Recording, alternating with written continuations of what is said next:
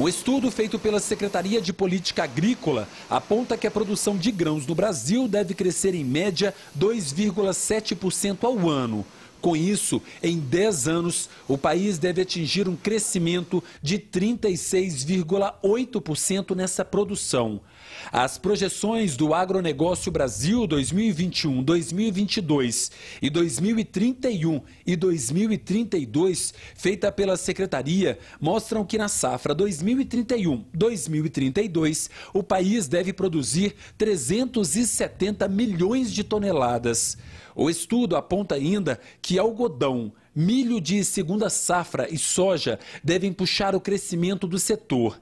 De acordo com o levantamento, o mercado interno, as exportações e os ganhos de produtividade devem contribuir para o aumento das safras, com um crescimento médio de 2,7% ao ano.